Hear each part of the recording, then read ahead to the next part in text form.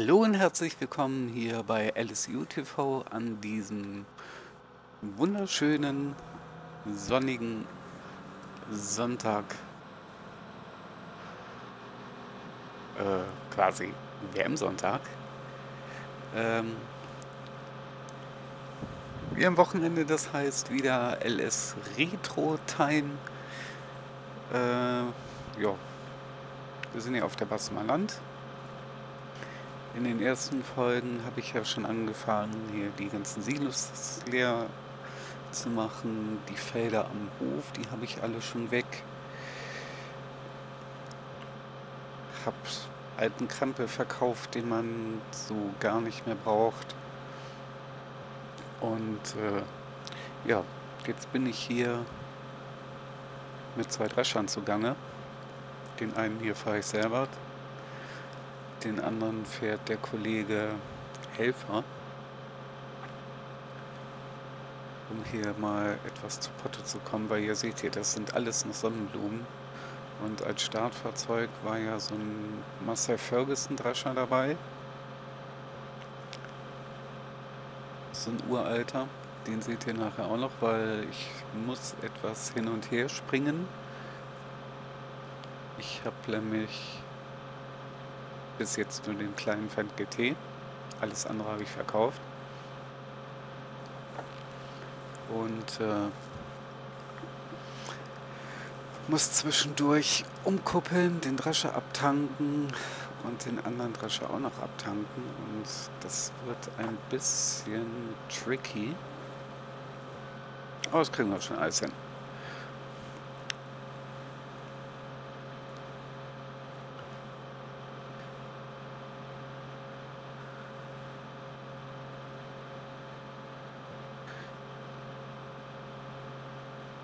Und äh, ich, erstmal fahre ich mit dem hier noch weiter, dachte ich. Und wenn ich die Sonnenblumen runter habe, alle, werde ich auch den Marseille Ferguson verkaufen und mir dann hier äh, einen größeren Drescher holen für, für die größeren Schläge. Die hier gehen noch alle, aber die größeren, das ist ein bisschen bisschen viel für den Kleinen hier.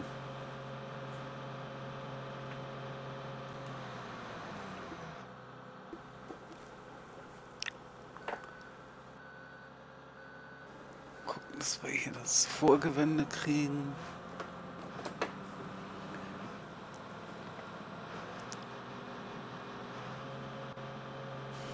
Und äh, ja. Was mir heute wieder aufgefallen ist, ich habe hier das äh, G27 jetzt schon, oh, gut zwei Jahre, aber ich hatte von Anfang an in der Mitte ein bisschen Spiel. Ich habe das auf 900 Grad Lenkung eingestellt, weil wenn ich schon so ein Lenkrad habe, dann will ich auch die 900 Grad nutzen. Aber ich habe in der Mitte immer etwas spielt. Das habe ich bei anderen Spielen nicht, wie jetzt zum Beispiel ETS, ATS oder so. Habe ich kein Spiel. Null. Nur hier bei LS. Keine Ahnung, woran es liegt. Ob LS jetzt keine 900 Grad Lenkung unterstützt.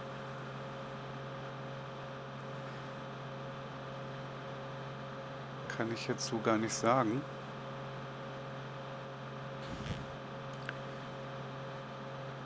Und da ist er auch schon voll.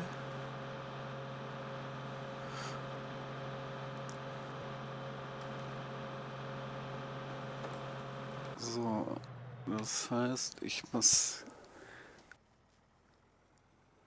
hier mal eben um umswitchen.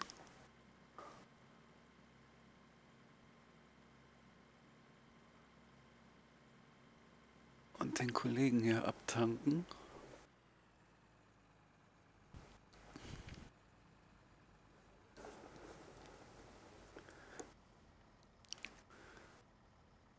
Weil wir wollen ja, ne?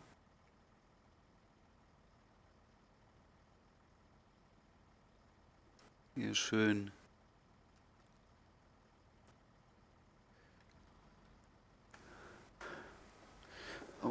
das voll.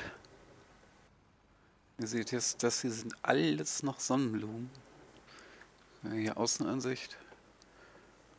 Und da hinten war, glaube ich, noch ein Acker mit Sonnenblumen. Das will ich, will ich natürlich jetzt nicht hier verschenken. Ich will da drunter nehmen noch alles und dann äh, weg mit dem Eindrescher. Dann mache ich auch keine neuen Sonnenblumen mehr. Ich habe hier noch Kartoffeln. Da muss ich mir noch einen Kartoffelroder raussuchen. Ich hatte, glaube ich, früher mal, als ich das Elver gespielt habe, intensiv, das war, glaube ich, so ein Balko oder Bolko, keine Ahnung, Balko, Kartoffelroder, ein Zweireiher oder Einreiher. Der ging eigentlich ganz gut. Und äh, für die Zuckerrüben hatte ich immer meinen heißgeliebten Stoll V202. Das ist echt ein klasse Gerät. Damit habe ich im Elver bis zum Abwinken, bis Ultimo Kartoffeln gerodet, weil das Ding hat nur zwei Reihen, aber richtig genial.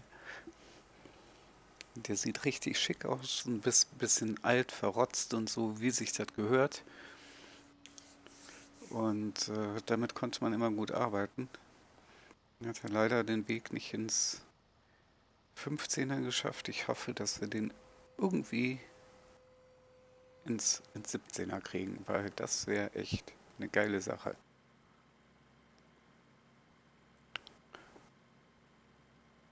Stoll hat ja eigentlich früher diverse Rübenroller gemacht. Es gab einen V50, einen, einen V100 gab es, glaube ich, dann den 202 und das letzte war noch ein V300, auch gezogen.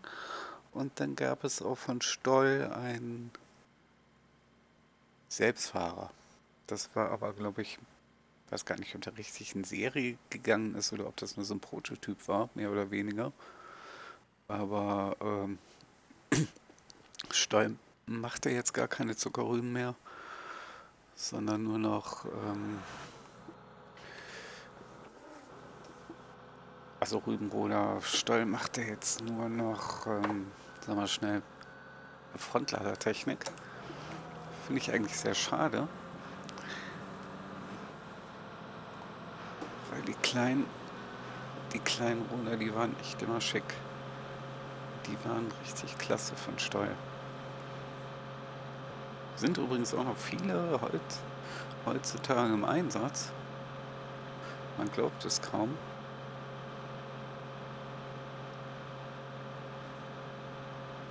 dass noch so viele Steu im Einsatz sind. Aber das war ja früher anders. Wir hatten ja auch einen Steu auf, auf dem Hof früher und ja, da muss man die Zuckerrüben alle selber abfahren. Und da konnte man auch nicht fahren, wie man lustig war. Ich weiß nicht, vielleicht erinnert sich noch der eine oder andere dran. Da gab es von den Fabriken so, ähm, ja, so Märkchen und die waren aufgeteilt. Du konntest nur so und so viele, so und so viele Hänger äh, die Woche wegfahren. Ja, und wenn du die voll hattest, dann war Schluss. Dann musst du stehen lassen bis zur nächsten Woche.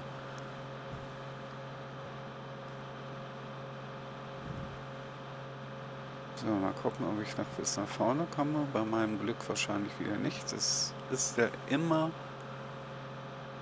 kurz vor Ende ist das Ding doch noch voll.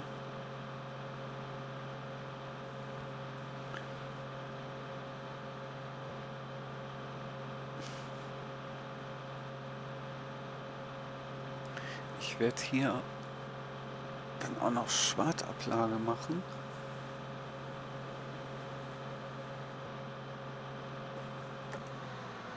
Also. Mal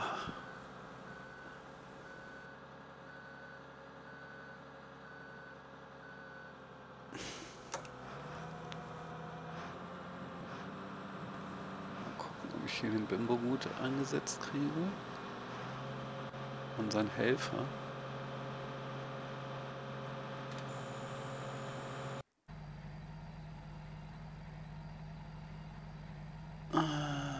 ist der mit Sonnenblumen, den lasse ich jetzt erstmal. Jetzt hier noch ähm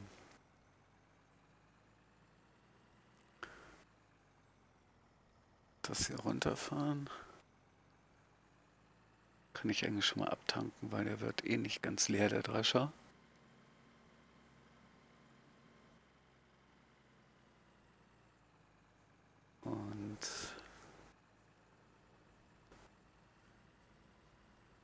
Ja, wie gesagt, Plan ist jetzt halt hier das Getreide noch runterzureißen. Dann äh, möchte ich ganz gerne Ballen pressen, dass wir was für die BGA kriegen, dass wir da schon mal Gülle kriegen.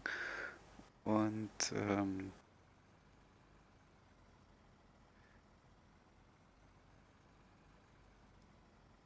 dann äh, gucke ich, dass ich, nee, nachdem auf jeden Fall dann einen größeren Schlepper noch hole. Mal gucken, es gab mal so einen 1400er XL, glaube ich, der, der hat so richtig schön gebrüllt. Den hätte ich eigentlich ganz gerne. Mal gucken, ob ich den nochmal wiederfinde. Also falls einer das Ding hier weiß, wo das her war, kann er mir gerne einen Link in die Videobeschreibung, in in die Kommentare rein, reinsetzen. Den hätte ich ganz gerne und ja, vielleicht noch was Stärkeres. Nicht so übertrieben, irgendwas mit ja, 300 PS irgendwie.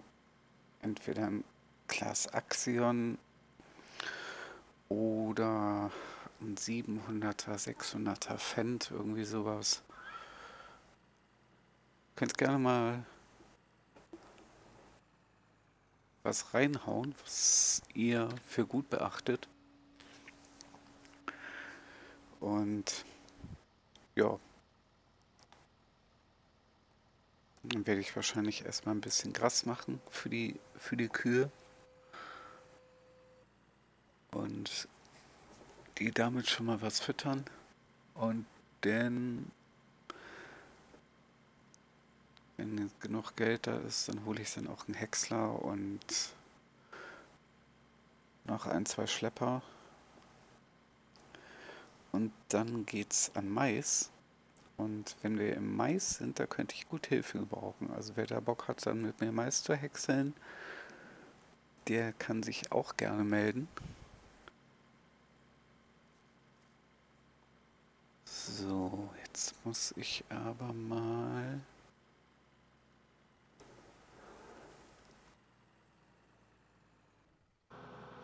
Okay, der ist Feuer, also tankt man den erstmal ab. Dann setzen wir den Drescher um. Ja, gut, ich habe genug Geld. Ich könnte mir eigentlich noch einholen. Ich glaube, das mache ich auch jetzt bald. Dann brauche ich nur umswitchen, nicht immer hin und her. Weil das ist schon ein bisschen nervig.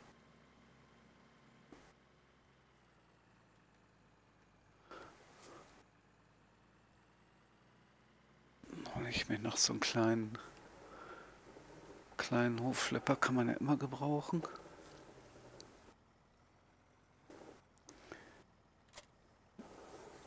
Habe eigentlich immer ganz gerne so zwei kleine, die hier für so Kremskrams da sind. Und ähm, ja, zwei größere halt für schwere Ackerarbeiten. So, das war's für diese Folge. Ich bedanke mich ganz herzlich fürs Zuschauen. Wenn ihr mich unterstützen wollt, lasst ein Like da, abonniert meinen Kanal. Es gibt noch viele andere Sachen, wie jeden Samstag, Wochenende, LS Retro, freitags LS15, mittwochs Bausimulator und montags ATS.